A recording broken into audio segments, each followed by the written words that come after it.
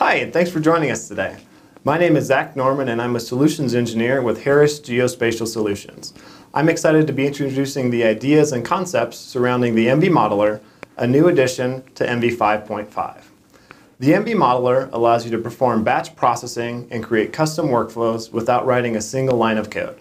You can easily drag and drop data or ENVI tasks into the modeler to create reusable, automated workflows.